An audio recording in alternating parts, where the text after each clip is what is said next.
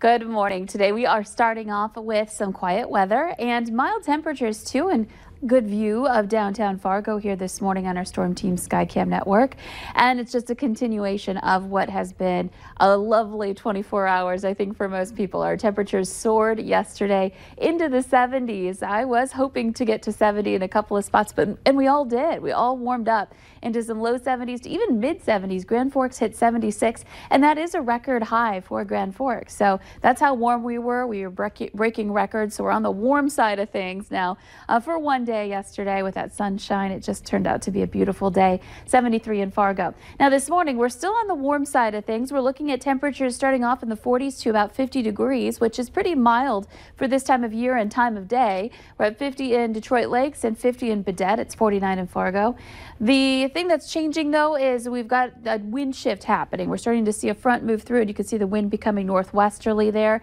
And that's going to start in the process, the cooling process, uh, bringing in cooler air out of the northwest. And the winds will be pretty strong today too as that happens.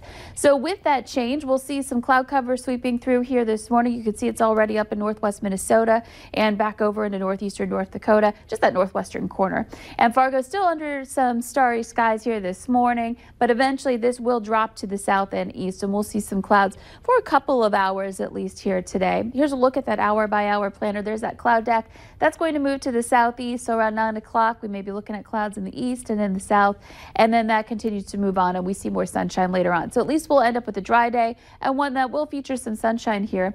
Uh, temperatures, though, not changing much. We'll be into the low 50s as we head into the noon hour, but check out these winds. Steady in the 20s, gusting into the 30s, even 40s possible so it's going to be a windy day. And we are looking at temperatures that are running about 15 to 20 degrees cooler than yesterday into the 50s. This is actually closer to average, uh, but we did warm up so much yesterday that this will feel pretty chilly. 56 in Fargo around 4 o'clock, 52 in Grand Forks.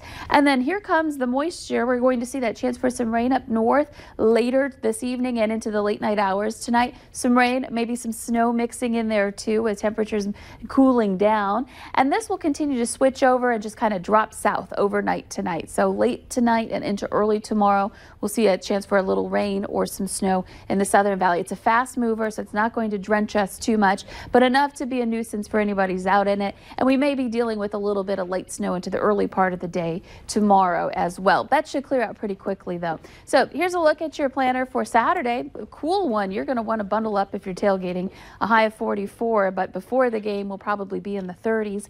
And then for Sunday, back back into some 50s and we stay in those 50s for uh, next week as well. So not bad for fall. Uh, this forecast is looking pretty good and dry too for those farmers as well.